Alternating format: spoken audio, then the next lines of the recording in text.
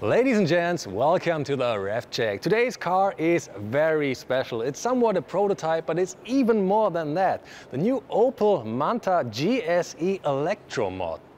At Opel, GS stands for performance. Earlier models were called GSI or Grand Sport Injection. Now there's the new purely electric Manta, the GSE. As you can tell, we're inside and since COVID is still a thing, I need to wear that mask. But let's quickly talk about the car. As you can tell, this car looks very much like the old Manta. The first Manta hit the market in 1970 with engines ranging from 68 to 90 horsepower. It was Opel's answer to the successful Ford Capri, and its stylish looks earned it lots of fans. But why does the new Manta look so similar to the old one? And the reason for that is it actually is a Manta. They took the body from an old Manta and only changed a few minor things in the front and in the back, but the rest is all original at least on the outside, but not under the hood. We decided to first put an electric pack in here, uh, upgrade also this digital Vizor. The car features a 147 horsepower electric motor. Yeah, as you can tell here in the front, this is unmistakably the new Opel Vizor, but it's even more than that because this one is fully digital and it can give you anything you want. It can show graphics and it can show text. It reminds you of the old Manta. The form of the front is the same as with the old Manta and that's where the Opel Vizor came from.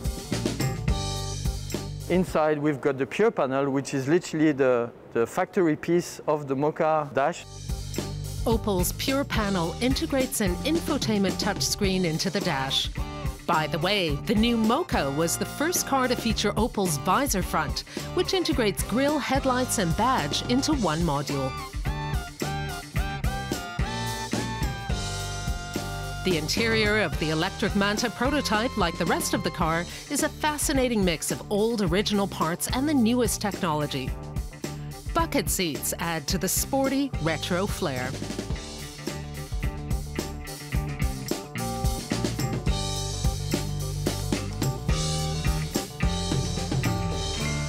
This little hole down here, this is where the electric Manta is charged. Now you might be wondering, why is it down there and not at the top?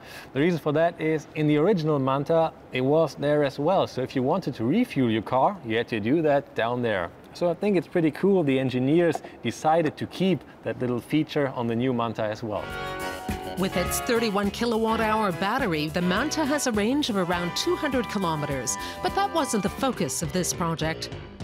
A nice little detail at the rear is the Manta lettering, just like it is on the new Opel Mokka.